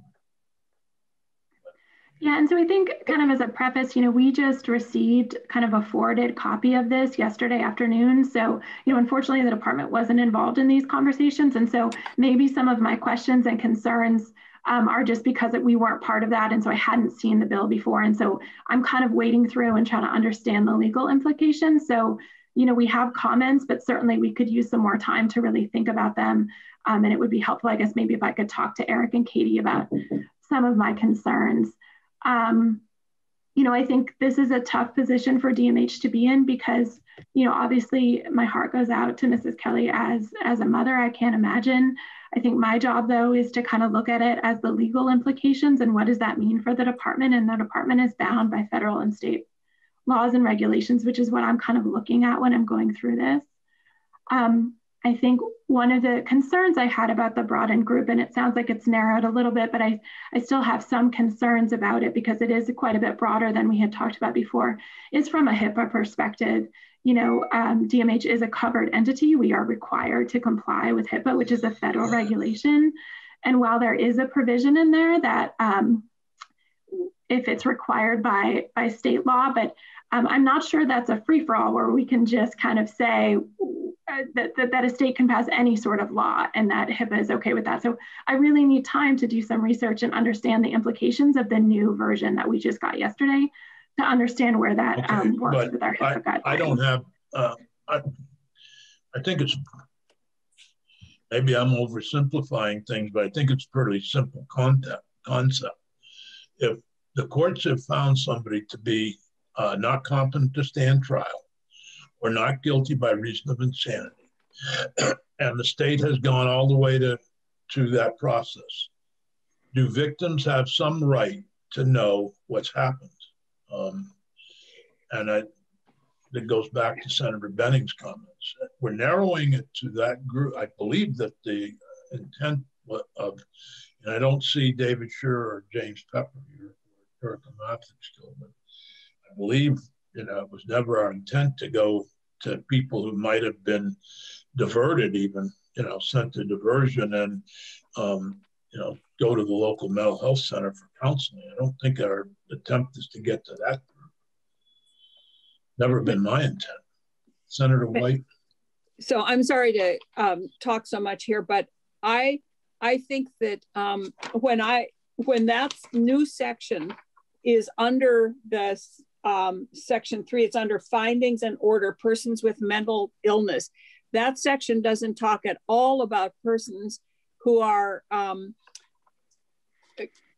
deemed incompetent to stand trial or found not guilty because of reason of insanity. It's just anybody who has is ha, is put under the um, jurisdiction of the commissioner of mental health, either hospitalization or none. So my I think that in the rewriting here, I think that I don't, I can't see it now, but I think that part of that first paragraph that was in the original one was left off that says it only addresses those two reasons. And I think that was left off. So the way it reads now, Eric, I think, but I Eric, can't see it, so I'm not sure. Eric, go ahead, Eric.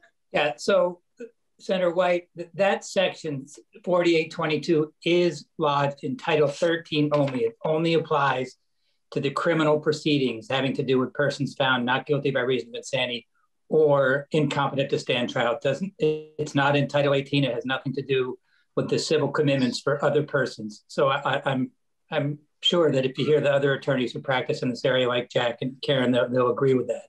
And that if you look at the language on the new language on page six, that is these new provisions about victim notification. It specifically says when a person has been committed under this okay. section. So it's it's very specifically tied to only only you know because there's two as you're pointing out there's sort of two ways a person can can become subject to DMH custody through the criminal system and through a, a civil proceeding. This only applies to the folks that come in through the criminal system after a, a incompetency or or uh, insanity at the time of the offense finding. And I think Eric, Eric, I just want to add that if you go back to page two, um, specifically line 11, this entire section is premised upon an individual who's been charged on information complaint or indictment with a criminal offense. So I'm, I'm only hearing it from a criminal proceeding, not from a civil proceeding. Yes, that's correct. Does that help any? Um, so again, previously, and when I had talked to Katie about is there case law out there that kind of allows this kind of HIPAA exception, we were talking about a narrow set of crimes, really egregious crimes. Um, elopement is a new factor in there. So again, I just need time to go back and look. You know, again, I just got this yesterday, so I haven't had the time to really review the HIPAA implications. But How the department needs to make sure. Um, I'm not sure because I think there are a couple other issues. I'm sure if we could get a group together, I think it, you know it's helpful when the department is at the table when these conversations happen, just so that we can kind of ask these questions in advance. But uh, you know, if we could pull a group together later this week, I think that would be helpful. Oh, this is Wednesday. Crossovers Friday. Um, because I think when I get into the, the ONH issues, I think we also really need to make sure the designated agencies are at the table. And it also, oh implicates HIPAA issues, but I think one of the things that this ONH provision is doing is a couple things, right?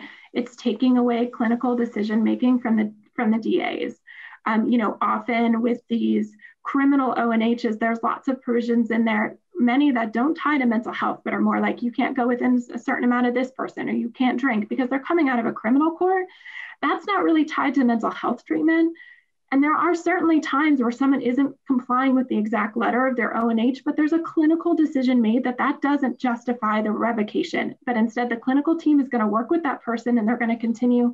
You know, the department's goal is to have non coercive treatment in the community.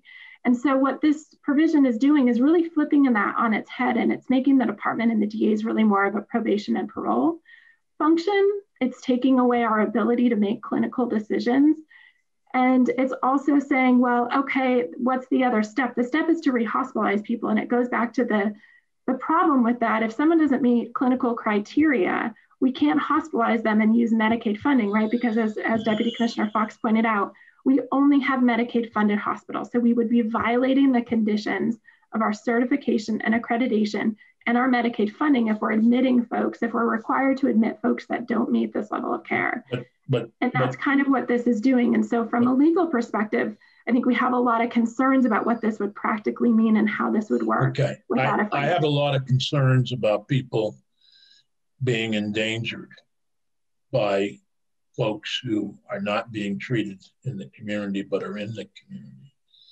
and folks who are coming out um, and the victims aren't even notified, and no knowledge from the, vic- the victim even be on the lookout. I, I have a great concern about what's happening. And I think that part of the obligation, um, not asking the Department of Mental Health to become the Department of Corrections, but you have a forensic population that this state has not dealt with. And it, we keep hearing excuses why it can't be dealt with. And I think we've been talking about this for a long time. Um, and I, uh, that's what we're talking about. It's a forensic population. Again, small population. But um, when we hear that we can't protect communities, and I read in the newspaper that state police officers who were shot at feel that um, the sentence that somebody received this morning or yesterday afternoon um, time served in two years because the state's attorney was afraid that they were going to be found not competent to stand trial or not, not guilty by reason of insanity at the time of the shootings of state police at state police officers. It concerns me. It concerns Vermonters. And, you know, that that's really, I, I um, anyway, um, I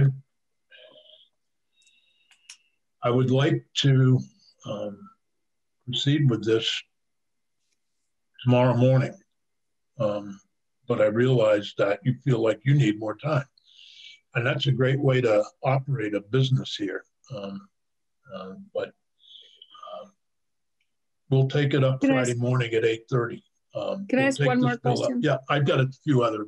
Uh, yeah, go ahead, Senator. I, I just I realize that this only deals with um, uh, insanity and incompetency.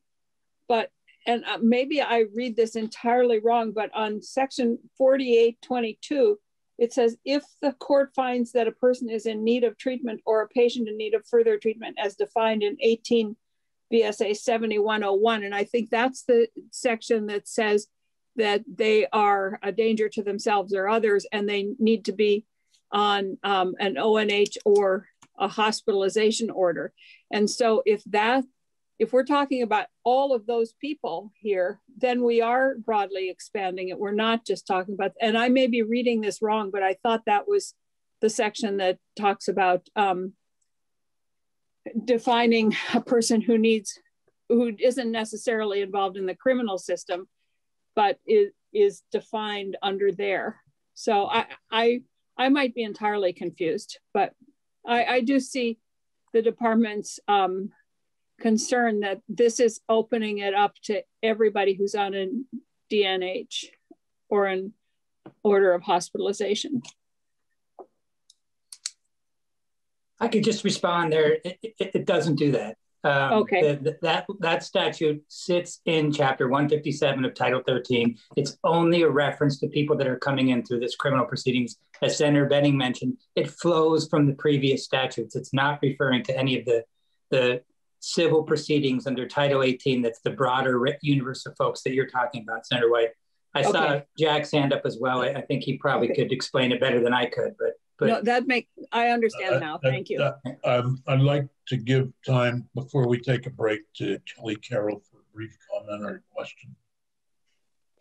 Kelly was our earlier witness. My battery running low. Kelly, are you there? All right, well, why don't we Sorry, I wasn't able to unmute. My apologies. Oh, um, okay. Just wanted to, um, to add a comment on something that, that Mr. Fox said. Um, I truly believe that this a whole issue takes a multidisciplinary um, approach. And um, I just wanted to let everybody know that on Monday afternoon, I had a call with um, AHS Secretary um, Mike Smith and um, DMH Commissioner Sarah Squirrell, Commissioner of Corrections James Baker, and Chief Prevention Officer Monica Hutt. And Senator Sears, you had asked um, Mr. Fox, what was the difference between UCS and um, Rutland's Department of Mental Health and, and some of the services. And one of the things that we had talked about, most notably Commissioner Squirrell and I, was about contractor compliance. And I think that that's a big opportunity when you look at, you know, what some of the differences are. Personally, I'm a food management contractor, and if we don't do what my clients say, we're out. And um, sometimes we hear uh, it's the only game in town. They're really nice people, but I just wanted to add that, um, you know, I support um, having you know people with mental illness out in the community if they're not violent. I think we have a lot of wonderfully productive people in the community that that do have um, mental health challenges that they deal with, and and they're completely productive. And um, I just wanted to make sure that everybody knew I'm not advocating for um, them to be locked up. But contractor compliance, I think, is a big issue with some of the differences and the lack of it. And I just wanted to express that. And again, thank you very much. Uh, I'm glad to know that that the secretary and, and the commissioners met with you and uh, that mm -hmm. uh, hopefully was helpful in understanding some of the challenges. Uh, I want to be part of the, the solution. faces. Thank you. Uh, Jack, did anybody have a question for Kelly or a comment? Jack, go ahead. Thank Briefly. you, Mr. Chairman. I just wanted to uh, respond to Senator White's question. Um, it's true that uh, these sections in Title 13, 4820 and 4822 do make reference to the uh, mental health provisions of Title 18, particularly I think we were talking about 7101, which is the definition section. But uh, but the whole point of those of that reference in Title uh, 18 was to bring in the definitions of the terms mental illness, person in need of treatment, patient in need of further treatment into the consideration for uh, cases that involve uh, not guilty by reason of insanity or incompetent to stand trial. It, as I agree with Eric that the language on page, on lines three to four of, uh, of page six provide that uh, the uh, notification provision only applies to someone who's been committed pursuant to 13 VSA section 4822. Um, I, I, do agree with uh, with the comment made by uh, by the department that this really does broaden possibly um, possibly too far the number of cases that were involved because uh, Senator White, you mentioned, well, you don't think the person who's uh, the shoplifter would have been found incompetent to stand trial or not guilty by reason of insanity. In fact, under 4822, the only way you get onto an order of hospitalization or an order of non hospitalization is if you were found not guilty by reason of insanity or uh, incompetent to stand trial. And it applies from everything to uh, disorderly conduct all the way up to homicide charges. So, in fact, in my experience, the largest share of people who are found who get into the involuntary mental health system through the criminal process are charged with uh, with uh, minor and nonviolent uh, offenses. Thank so you. I hope that you're yeah. welcome. Yeah, I, I, I just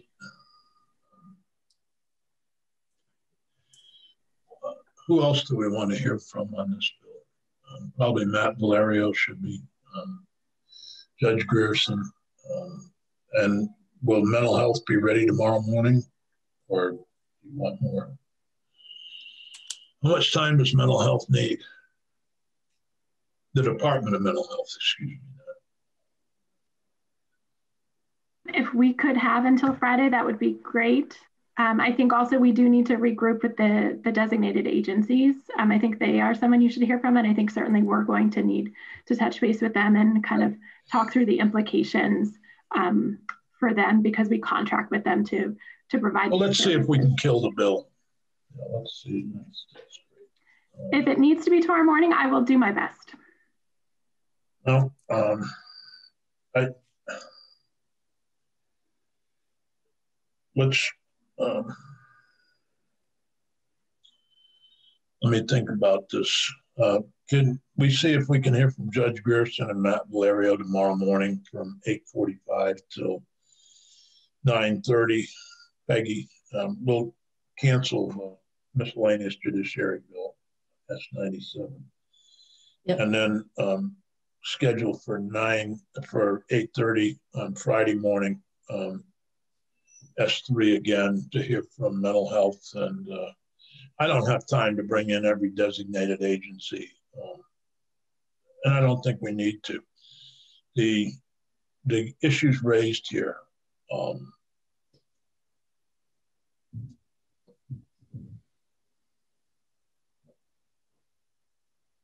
yeah, well, well, you, you want to bring in the designated agencies, Karen?